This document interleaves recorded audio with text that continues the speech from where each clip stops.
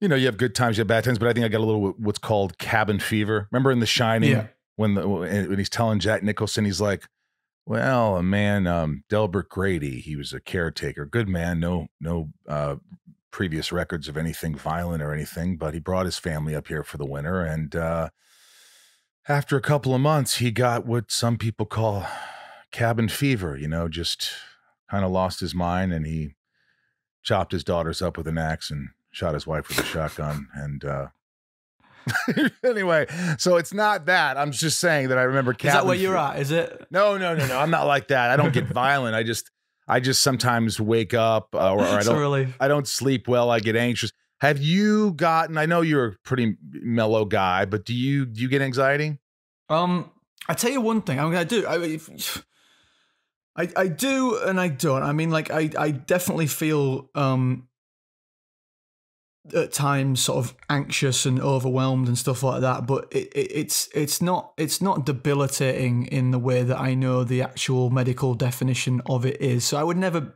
I would never say I have anxiety. I think it can be quite. I know it's a, I know it's a you know it's a, it's a it's a heavily used term, but when I've seen people who genuinely suffer from anxiety and it can be really debilitating and they can't like they don't want to get out of bed or they don't want to leave the house or whatever and they can't they can't I mean my wife gets it sometimes and she can't even speak, you know?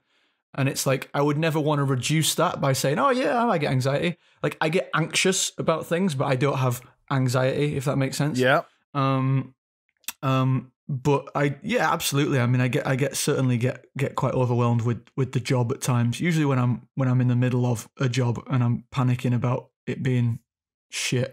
Okay, so oh Um, wait, so b- do you equate success with happiness? Like if you are great, or is or like uh, you're are, you're you're insatiable. Obviously, you want to be great. We all want to be great. We want the studios to think we're great. And but uh, after a while, you know, the older I get, the real I realize I just got to do the best I can. And by the way, I'm not saying I'm I'm good with this now, but like you know when is it good enough or what what is it that makes you anxious about that Well, I think that there's there's a couple of things. So like my my because I I was seeing a, a therapist for a little while, um, and it was simply because, um, and again, like it wasn't anything debilitating. I just thought I, I think that there's not there shouldn't be a stigma around it for a start. Uh, And I thought, 100%. well, I'm not working. It's I'm a bit down in the dumps. I'm sort of like, um, I didn't feel um fulfilled inspired. I didn't feel inspired to do anything. I felt like I just couldn't be bothered. And even when, and it wasn't if like I was out, like self tapes were coming in, I just couldn't be bothered. And I was like, what's wrong with with with this? So I spoke to someone, and it was fine. Like it, it was it was all right. And uh, we came out the other end of it. And actually moving back to Florida helped a great deal.